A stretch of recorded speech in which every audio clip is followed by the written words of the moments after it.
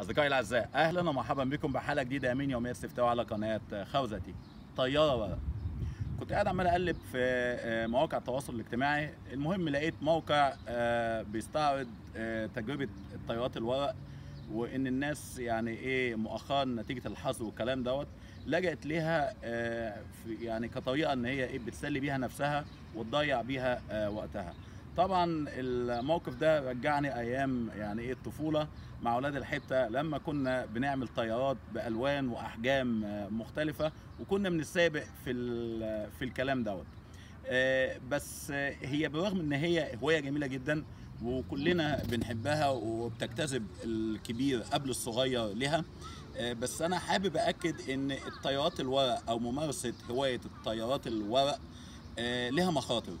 آه ليها مخاطر. حابين تعرفوا إيه هي؟ طب تعالوا مع بعضنا نستعرض المخاطر دي. طبعا عشان آه، تمارس رياضة أو تمارس هواية آه، الطيار الورق آه، لازم تطلع على أعلى حتة في البيت صح؟ آه يعني أنا مثلا في ال- ال- البرنامج أو الموقع اللي كان بيستعرض التجربة ديت لقيت إن في ناس واقفة على غايه الحمام غايه الحمام اللي هي التقفيصة يعني أو آه، حاجة كده صندوق أو قفص بيعملوه للحمام يقعد فيه فالناس واقفة عليه. طبعا مفيش أي حماية حواليهم وهو واقف عمال إيه ماسك الطيارات طبعا الطيارات بيبقى ليها أحجام كبيرة وأحجام صغيرة. آه الأحجام الكبيرة دي محتاجة إيه حتة عالية قوي قوي عشان إيه يملك ويقدر إن هو إيه يعني الطيارة تطير فيها.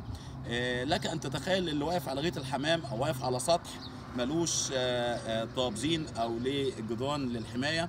بيبدأ إن هو إيه يمسك الطيارة وعمال إيه عشان الهواء والكلام ده ويبدأ يرجع يرجع آه على أيامي لما كنت صغير كنت بسمع إن في ناس بتقع آه من على السطح أو الأماكن المرتفعة ديت. فأنا حابب احزم الكلام دوت. لو سمحت لو هتمارس ال- الهواية ديت آه، من مكان عالي عشان بيتطلب مكان عالي آه، لازم تتأكد إن المكان اللي أنت واقف فيه متأمن يعني متصور. ما تعرضش حياتك أو حياة أطفالك أو آه، الصغيرين أو الأطفال الصغيرين اللي معاك للخطر لأن دي رقم واحد من المخاطر اللي هي الخاصة بممارسة هواية الطيارات الورق.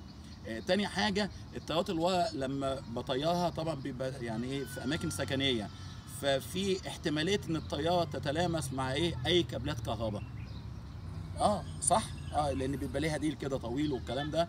فاحتمال الموضوع ده يحصل آه كبير جدا. وده من ال يعني إيه بيدي إمكانية لعملية إيه؟ يعني صعق أو تلامس حرايق إلى آخره من الكلام ده فلازم أتأكد إن أنا وأنا بس يعني بستخدم أو بمارس الهوايه ديت إن تكون في مكان إيه؟ واسع مكان آه ما فيهوش آه، يعني إيه؟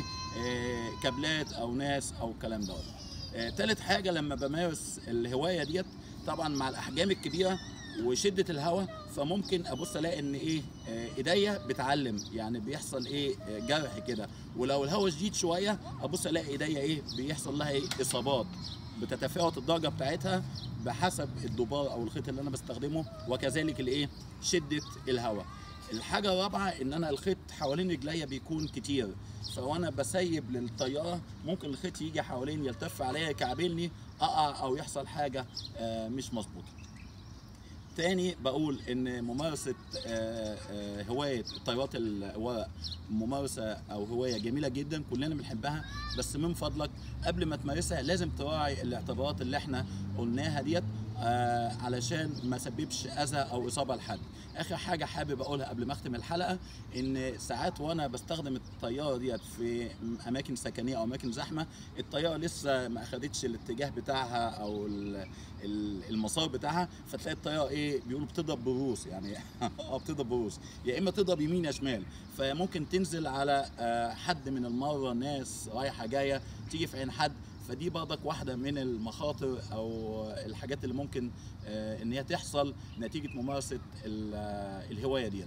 فارجوكم لو حابين تمارسوا الهواية ديت ضعوا في اعتباركم آه، كل الحاجات اللي إحنا اتكلمنا عليها النهارده عشان نمارس الهواية بطريقة آمنة ونستمتع بيها بدون أي إصابات. دمتم بصحة وإلى اللقاء.